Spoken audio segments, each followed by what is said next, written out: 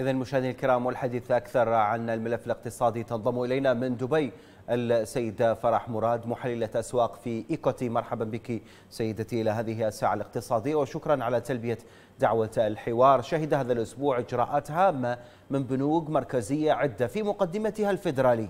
بداية كيف تقرأين خطوة تثبيت الفائدة من قبل الفيدرالي وبعض البنوك العربية؟ أول شيء شكرا على الاستضافة هلا كمان فعلا كان أسبوع مليء بقرارات البنوك المركزية. أظن الفدرالي لا يزال الأكثر تشددا. آه، كنا عم نسمع أصوات حتى إذا بتتذكر قرار المركزي الأوروبي من قبل عم بيقول نحن مش مضطرين نتابع الفدرالي بهالسياسة المتشددة. يبدو قد يكونوا محقين قد يكون الفدرالي مخطئ لأنه لاحظ البيانات اللي كانت عم تصدر من بعد القرار. كنا عم نحكي عن سوق العمل إذا عم نحكي عن آه، قطاع الصناعة عم بيفرجونا تراجعات كبيرة. نضلنا محافظين على مستويات الفائدة العالية طبعا هو يعني على الرغم من إنه الأسواق شوي اعتبرت آه، حديث الفدرالي أقل تشددا عم نتوقع توجه إلى تقليص أسعار الفائده في سبتمبر ولكن أظن مقارنة في البنوك الأخرى لا يزال الأكثر تشددا. وكمان طبعا نتذكر البنوك هون والعملات هون مرتبطة بشكل رئيسي بالدولار ولكن كمان اقتصاد المنطقة خصوصي في الخليج قوي يسمح نوعا ما لأن نكون محافظين على مستويات فائدة. نوعا ما مرتفعة وهذا اللي عم نشهده بالوقت الحالي. طيب آه، آه، أيضا في الوقت الذي آه، ثبتت فيه ثبت فيه الفدرالي الفائدة قام بنك إنجلترا بخفض الفائدة للمرة الأولى في أكثر من أربع سنوات. لماذا برأيك وكيف سيتأثر المواطن البريطاني بذلك؟ يعني هيدا شوي كان غريب وإذا بدي أعطيك رأي محدد بنلاحظ ما كان ال Bank of England هالقد واضح بال hint تبعونه خلال الست أسابيع الماضية يعني مع الانتخابات لما يكون كمان عم بيأثر بشكل كتير كبير على الأسواق وحتى التصويت يعني إحنا عم نحكي خمسة مقارنة بأربعة يعني تصويت على شخص واحد من محافظي Bank of England سمح لنا نكون إحنا عم نتوجه إلى تقليص أسعار الفائدة. أظن إذا بدنا نشوف البيانات اللي كانت عم تصدر عندنا كان استمرار التضخم في قطاع ال services الخدمات. وقطاع الخدمات عادة ما يتأخر في يمكن قديش عم يتأثر بأسعار الفائدة. ولكن بنلاحظ مثلا التضخم في ال goods التضخم في آه، المعاشات تراجع بشكل ملحوظ. قد يكون أحد الأسباب اللي دفع كمان العديد من المحافظين في Bank of England إنهم يقلصوا الفائدة. طبعا أمر جيد يعتبر. للأفراد آه، وحتى للشركات أن نكون عم نتوجه لأسعار فائدة أقل طول ما إنه ما عم بيأثر بشكل كبير على آه، ال pound البريطاني اللي استفاد كمان ما بعد الانتخابات عودة الثقة كمان في الأسواق في المملكة المتحدة. يمكن كمان اعطاهم شوي قدرة إنهم يكونوا flexible أكثر بقراراتهم. بالانتقال إلى آسيا سيد فرح بنك اليابان رفع أسعار الفائدة لمستويات لم تسجل منذ 15 عاما. كيف سيتأثر اقتصاد آسيا وهل سيدفع ذلك المتعاملين إلى إعادة تقييم صفقات فروق أسعار الفائدة؟ هلا طبعا نحن لازم نتذكر إنه الين الياباني كان عم يشهد على ضغط كثير كبير وهالسياسة المتبعة كانت طبعا عم تفيد الأسواق الأسهم اللي تراجعت. يعني نحن عم نحكي تراجع 6% هيدا التراجع منا شاهدينه يعني بشكل طبيعي في الأسواق اليابانية وعودة قوة الين نوعا ما. هلأ طبعا إذا بدنا نحكي عن الين الضعيف على الرغم من إنه كنا عم نحكي عن مخاوفه ولكن كان مفيد كمان للتجاره آه، الخارجية آه، لليابان وكان نوعا ما عم بخليه يكون الكومبيتيتور الأفضل أو الأوضح للصين اللي كمان كانت عم تجبر كمان اليوان الصيني انه يكون على تراجع لتستفيد من التجارات الخارجية.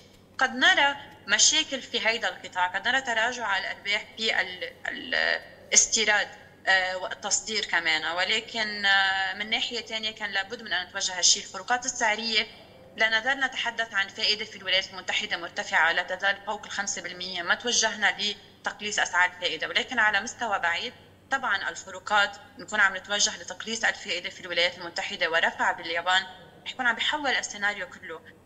أظن من المبكر ان نقرر أن ندخل في في بيع الدولار في وجه الين ولكن على الفترة الطويلة قد تكون صفقه ناجحه طيب بالانتقال إلى آه، آه، العملات الرئيسة كيف ترين مستقبل الدولار الأمريكي في ظل لربما الولايات المتحدة الأمريكية مقبلة على تغير سياسي وأيضا الأوضاع التي يشهدها تشهدها المنطقة منطقة الشرق الأوسط والعالم. هلا مشان هيك كمان عم بقول لك يمكن قد يكون من المبكر إنه بلش بيع الدولار الامريكي خصوصي هالتوترات الجيوسياسية المخاوف اللي هي جزء من اللي عم نشوفه بأسواق الأسهم وهالتراجعات والتصحيح العميق اللي كنا عم نشهده في أسواق الأسهم في حال استمراره هذا الشيء رح يكون داعم للدولار الأمريكي بغض النظر نحن متوجهين على تقليص أسعار الفائدة ودورة يمكن تسهيل ولكن في الفترة الزمنية القصيرة هالسلقف هالخوف البيع آه، بسبب الخوف في اسواق الأسهم عادة ما تدل إلى تحول رؤوس الأموال إلى الملذات الآمنة. على رأس الدولار الأمريكي كمان الذهب طبعا ولكن كاش بنقول الكاش هو الملك خلال التوترات في أسواق الأسهم. في حال استمرت التراجعات الكبيرة أظن قد يعود الطلب على الكاش على الدولار الأمريكي حتى قبل الذهب. ومشان هيك لاحظ في إغلاقات يوم أمس شفنا ارتفاع للذهب ولكن عاد وتراجع. لأن رجعنا شفنا طلب على الدولار مع التراجعات الكبيره اللي كنا عم نشهدها في أسواق الأسهم. فقد يكون آه، مدعوم الدولار في الفترة الزمنية القصيرة في حال استمرت المخاوف آه، في اسواق الأسهم. طيب آه، ماذا عن الذهب سيدة فرح؟ أيضا كيف تقرأين مستقبل المعدن الأصفر؟ وهل سيستمر في الارتفاع برأيك؟ يعني العوامل التي كانت تدعم الذهب لا تزال موجودة. المخاوف الجيوسياسية تتطور أكثر وأكثر وهذا أمر طبعا رح يكون عم يدعم الذهب. مخاوف آه، في أسواق الأسهم والبعض النفور من المخاطر طبعا رح تكون عم تؤدي إلى دخول ملاذات آمنة. إذا بشوف الائتلاف الصناديق الاستثمارية لا تزال تشتري الذهب وتراهن على ارتفاع الذهب يمكن بمستويات أقل من الأشهر الماضية ولكنها لا تزال كمان آه، تشتري الذهب. الصين اللي كانت بائع رئيسي واللي كانت محرك رئيسي لهالارتفاعات إخذت بوز ما عم تشتري كانت في آه، الشهر الماضي ولكن عم شوف شراء من الهند عم كون عم شوف شراء من بعض الدول الأوروبية كمان. فلا يزال أظن إنه مدعوم آه، إلى أن نرى صورة أوضح في أسواق الأسهم. قد نراه في تحركات جانبية. الصين تود الشراء بعد الهنس اللي عم نشوفها أنه بتفضل تشتري من مستويات ال 2200 في حال تراجع الذهب نوعا ما إلى تلك المستويات. ولكن في طبيعة الحال على الفترة الزمنية إلى نهاية مثلا هذا العام لا تزال الأساسيات اللي بتدعم الذهب موجودة وتستمر. طيب آه، أنتقل معك إلى أسواق الطاقة ومع بقاء أوبك بلس على سياستها في خفض الإنتاج الطوعي دون تغيير. كيف تأثرت أسعار النفط بداية؟ وهل تتوقعين خطوة لإلغاء هذه السياسة قريبا؟ بستبعد إنه يكون في أي خطوة لتقليص أو لزيادة الإنتاج من أوبك، أوبك والعديد من الدول كمان في المنظمه بهمها أن تكون مستويات النفط مرتفعة، على الرغم من انه كنا عم نشوف نوع من البيانات الإيجابية في الولايات المتحدة المخزونات كانت نوعا ما على تراجع، آه، مخاوف طبعا الجيوسياسية في الشرق الأوسط شوي بتخوفنا من إنه قد يكون في مشاكل بالإمداد ولكن بعد ما شفنا تأثيره المباشر ما عم نشوف يعني آه، أي تأثير إلى الآن في أسعار النفط بشكل مباشر غير المخاوف؟ المخاوف من تراجع الاقتصاد الصيني كمان آه، مخاوف من إنه ما يكون الطلب مرتفع بشكل كثير كبير قد يحد كمان من تحولات كبيرة في سياسة أوبك. أستبعد يكون في تحول يعني للملخص خلال هذا العام. آه، لازم نكون عم نشوف طلب أعلى بكثير من اللي متوقعينه بالوقت الحالي.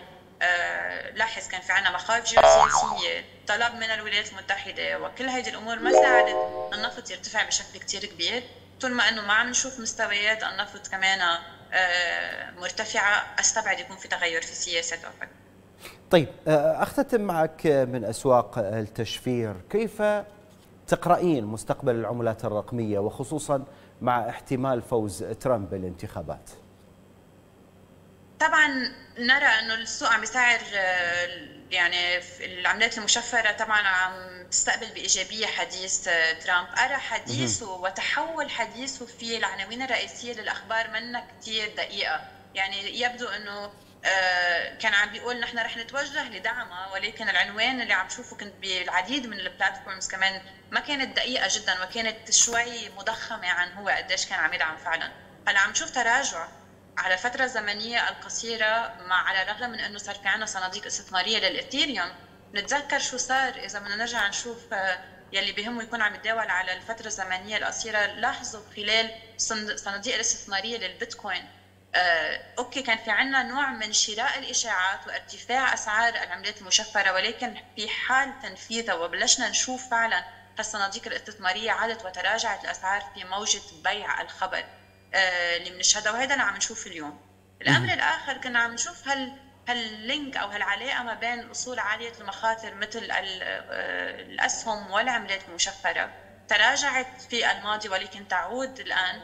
هالسل أب هالبيع اللي كنا عم نشوفه بالأسهم كمان عم نشوفه ذاته في العملات المشفرة كنوع من الأصول عالية المخاطر. أظن نريد خبر إضافي لإعادة الثيران إلى أسواق العملات المشفرة. آه، على الفترة الزمنية البعيدة طبعا رح يكون هو مدعوم. آه، خصوصي في حال فوز كمان آه، ترامب. أظن هذا عامل إيجابي طبعا للعملات المشفرة ولكن لازم دائما نتذكر أنها لا تزال تعتبر أصول عالية المخاطر. في حال شفنا sell off ابتعاد عن هالمخاطر شراء الدولار وشراء الأصول الملاذات الآمنة قد نرى volatility وتحركات عنيفة على الأصول المشفرة قبل ما نشوفها شوي آه، تعود لتندعم مره أخرى. نعم السيدة فرح مراد محللة أسواق في إيكوتي من دبي شكرا جزيلا لك